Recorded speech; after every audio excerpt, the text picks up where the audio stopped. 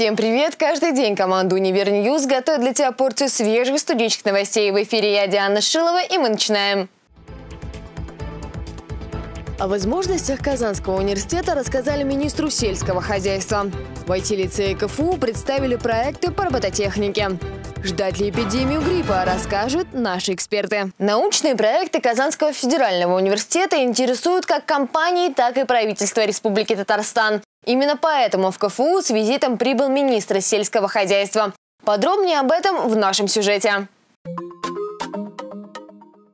Казанский федеральный университет посетил заместитель премьер-министра, министр сельского хозяйства и продовольствия Республики Татарстан Марат Ахметов. Гостя встречал ректор Ильшат Гафуров, а также проректора Казанского федерального университета. Визит начался с посещения Института фундаментальной медицины и биологии, а именно научно-образовательного центра фармацевтики. Марата Ахметова ознакомили с работой ученых в направлении медицины животных. Так, например, ему рассказали о разработках специалистов университета, которые поставили на ноги лошадь серьезной травмой в кратчайшие сроки. Также министр сельского хозяйства и продовольствия Республики Татарстан посетил лабораторию Института экологии и природопользования Казанского федерального университета и ознакомился с разработками ученых в направлении сельского хозяйства. После обхода здания университета состоялся семинар о перспективах развития сельскохозяйственной науки в КФУ. На ней ректор Ильшат Гафуров рассказал гостю о структуре университета и взаимодействии его подразделений. Чем мы отличаемся от других? Дело в том, что у нас эта система распределенная. Посмотрите, вот в химическом институте у нас есть специальные кафедры химической медицины, НОЦ фармацевтика в составе. Да, это, сам НОЦ, это научно-образовательный центр, он тоже достаточно большой, то есть там огромное количество кафедр и лабораторий задействовано. В институте физики и так далее. В инженерном институте мы занимаемся медицинским инструментарием, медицинским приборостроением и так далее. Артем Тупичкин, Александр Юдин, Univer News. Учащиеся IT-лицея КФУ представили Ильшату Гафурову новые проекты в области робототехники и серии «Умный город будущего». Подробности в нашем сюжете.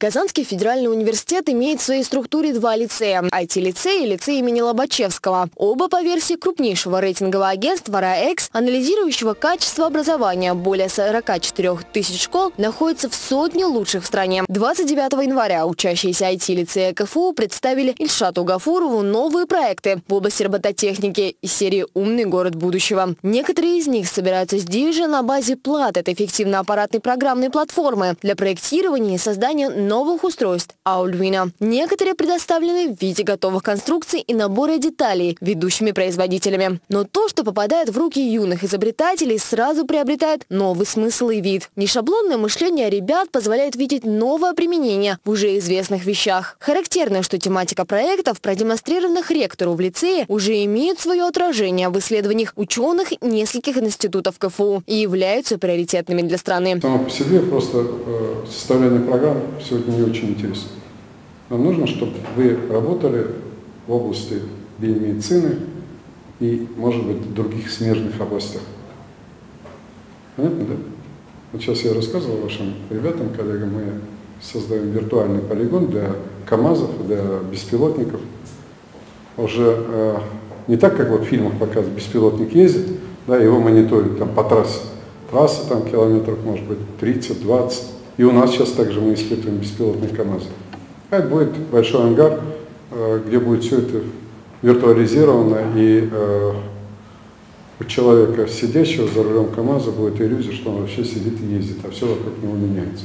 Но это намного дешевле, чем строить эти полигоны. Завершая встречу, ректор КФУ Ильшат Гафуров предложил директору IT-лицея Тимирбулату Самирханову расширить возможности творческой инженерной деятельности воспитанников и пополнить методические комплексы новыми разработками. А самих лицеистов пригласил посетить научные лаборатории университета, в которых ведутся смежные с инженерной деятельностью исследования.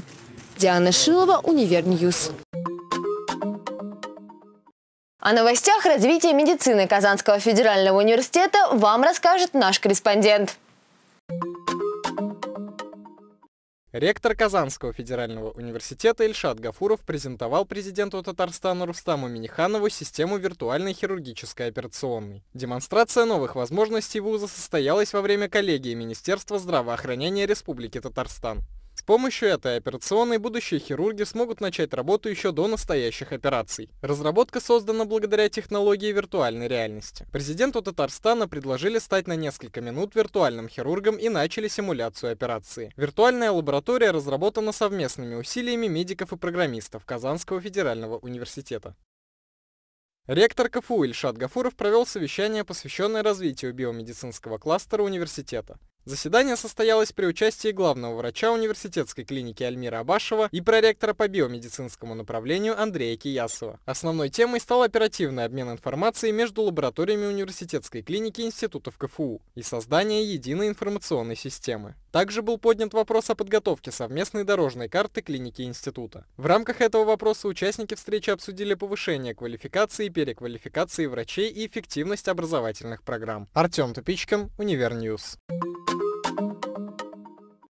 Немецкая нефтегазовая компания Wintershall посетила Институт геологии и нефтегазовых технологий КФУ. О том, какие вопросы обсудили в рамках встречи, смотрите в нашем сюжете.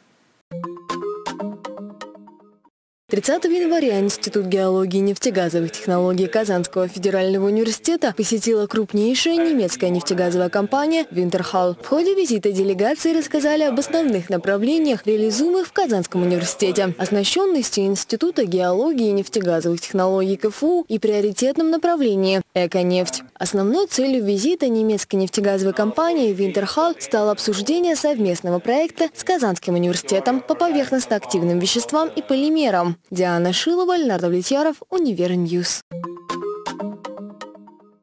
Итоги 2018 года в сферах деятельности Елабужского института Казанского федерального университета были подведены на расширенном заседании ученого совета. Подробности расскажем в следующем сюжете. В Елабужском институте КФУ состоялось расширенное заседание ученого совета, на котором директор учебного заведения Елена Мерзон выступила с итоговым докладом за прошедший 2018 год. Были подведены итоги во всех сферах деятельности вуза, отмечены наиболее яркие достижения профессорско-преподавательского состава, озвучены экономические показатели, а также определены планы по дальнейшему укреплению позиций Елабужского института. Инфраструктура Елабужского института пополнилась новыми спортивными объектами.